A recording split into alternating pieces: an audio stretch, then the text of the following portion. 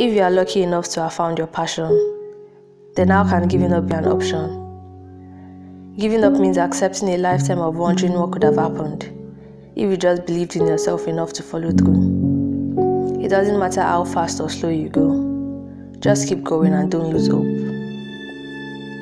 Don't ignore the little part of you that tells you to keep going, the little voice that's strong and believes in you. Don't run from the part of you that will lead you to greatness and magical opportunities. This year, let that part of you speak louder.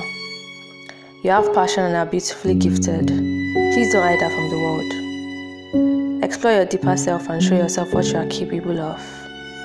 Don't stop until that little part inside of you is proud.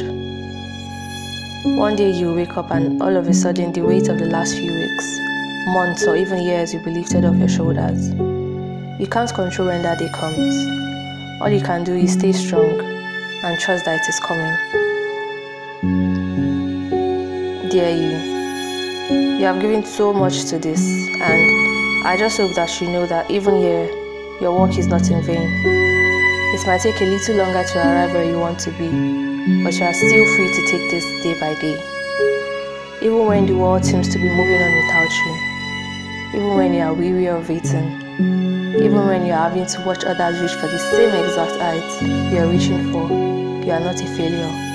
You are not behind you'll still arrive where you need to be in time. Your story is just going to look a little different.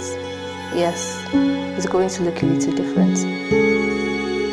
However, you are going to look back on this season and realize there's no way you could have predicted these outcomes. But you rise anyway.